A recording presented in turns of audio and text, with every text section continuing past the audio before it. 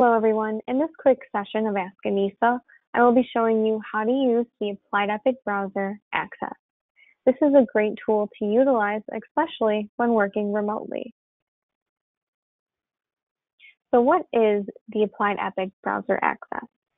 The Applied Epic Browser allows for anytime and anywhere access to your Applied Epic agency management system. This can be beneficial to you in the event where you're at a location where you need to access customer information and you cannot install the Applied Epic software. It is important to note that your desktop version of Applied Epic will provide primary access to the full suite of Epic functionality.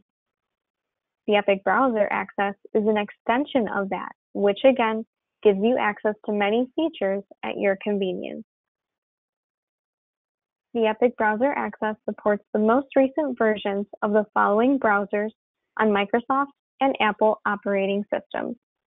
This includes Google Chrome, Microsoft Edge, Microsoft Internet Explorer, Mozilla Fox, and Apple Safari.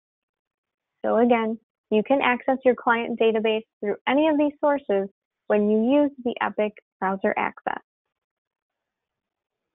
Before we log in, using the Epic Browser Access, I wanted to identify some of the differences in functionalities while using the Epic browser. With attachments, you can only add an existing file as a new attachment or drag and drop attachments. Some applications, such as Microsoft Outlook, do not allow you to drag and drop to a web browser.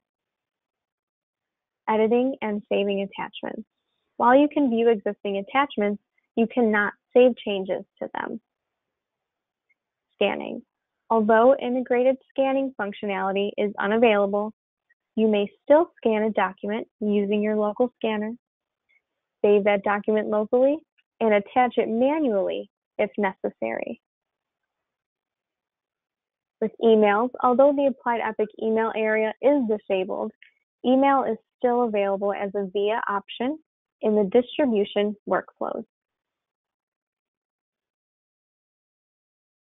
Now let's log into Epic using the Epic Browser Access link. So from your internet browser, you will type alleg01.appliedepic.com. Now that you made it to the Epic Browser Access login screen, add in your regular Epic sign-on credentials and then select Options. Be sure to select ALLEG01 Production Database and then log in.